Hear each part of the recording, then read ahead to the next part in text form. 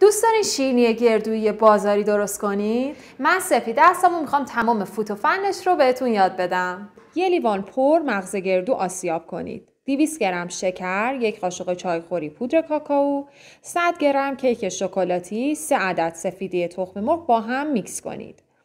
بریزید داخل تابه روی حرارت ملایم 8 تا 10 دقیقه مدام هم بزنید.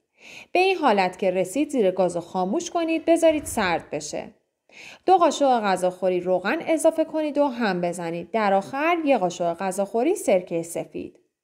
مواد رو داخل قیف بریزید که ماسوره سرصاف گذاشتید. کف سینی فر کاغذ روغنی بندازید و از مواد پایپ کنید. دستتون رو کمی چرب کنید و روی شیرینی ها بزنید تا صاف بشه. داخل فر با دمای 180 درجه به مدت 15 تا 20 دقیقه بذارید. شیرینی ها رو از فر در آوردیم مقداری عسل رقیق شده و پودر پسته بریزید. من شیرینی ها رو توی دو سایز درست کردم. مرسی که با ما همراه بودید. نظرتون رو برامون بنویسید.